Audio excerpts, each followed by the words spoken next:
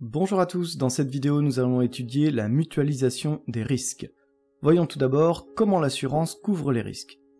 L'entreprise peut avoir recours à l'assurance pour couvrir tout ou partie des conséquences financières liées au risque que fait naître son activité. L'assurance repose sur le principe de la mutualisation.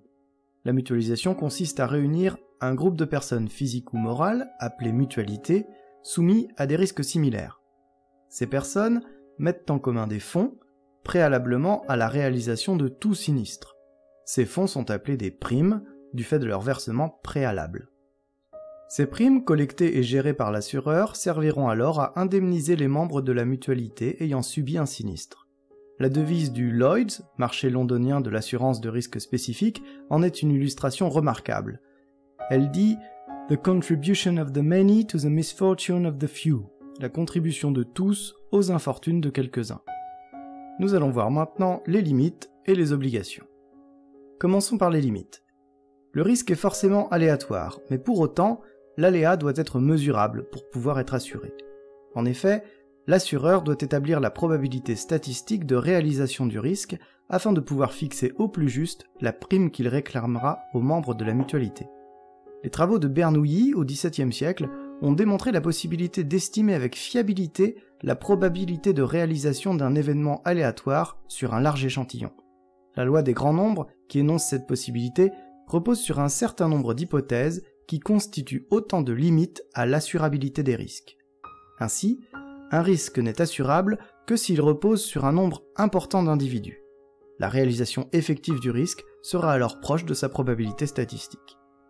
Le calcul de la probabilité statistique de réalisation du risque ne peut être fiable que s'il repose sur un groupe d'individus homogènes.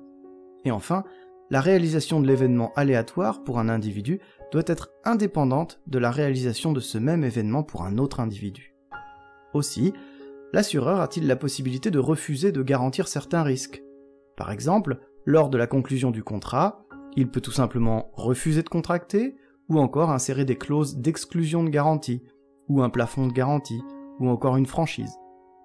Et puis, après la conclusion du contrat, il peut souhaiter la résiliation après le sinistre, ou la résiliation pour aggravation du risque, ou encore l'annulité du contrat en cas de faute intentionnelle de l'assuré.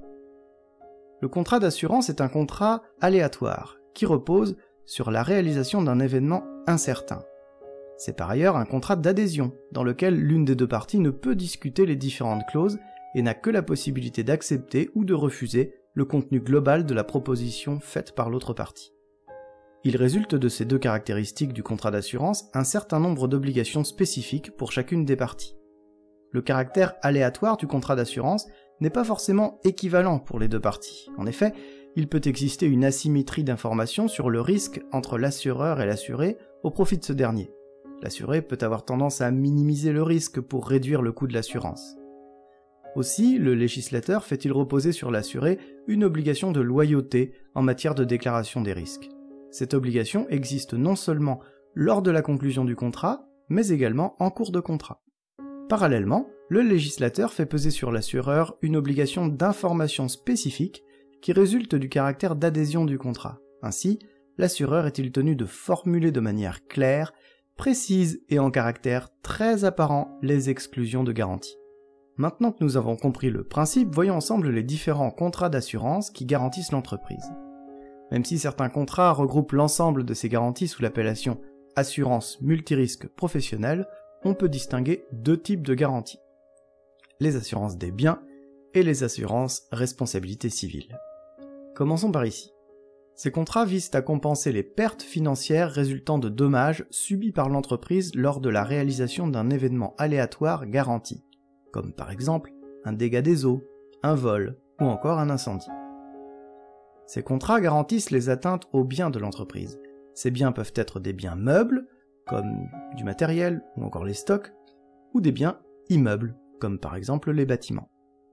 Ces contrats garantissent également la perte d'exploitation, c'est-à-dire la perte de marge brute entraînée par une baisse du chiffre d'affaires résultant de l'arrêt ou du ralentissement de l'activité à la suite d'un sinistre. Voyons pour finir les assurances responsabilité civile. Ces contrats visent à compenser les pertes financières résultant de dommages causés par l'entreprise ou par des dommages dont elle serait civilement responsable. La responsabilité civile délictuelle de l'entreprise peut être engagée pour les dommages causés à des tiers dans le cadre de son activité, comme par exemple les dommages causés par ses salariés, ou encore les dommages causés par les choses dont elle a la garde. La responsabilité civile contractuelle de l'entreprise peut être engagée pour les dommages causés à des tiers et qui résultent de l'inexécution d'un contrat, par exemple le retard de livraison ou encore la non-conformité de la chose livrée. La responsabilité civile de l'entreprise peut enfin être engagée pour les dommages causés par un défaut des produits qu'elle a mis en circulation. Ces contrats garantissent donc l'indemnisation des dommages corporels, des dommages matériels, mais aussi des dommages immatériels. Les franchises et les plafonds de garantie varient selon les contrats et selon les garanties. Voilà, cette vidéo est maintenant terminée. Dans le dernier chapitre de ce thème, nous aborderons la prochaine fois la socialisation des risques. À bientôt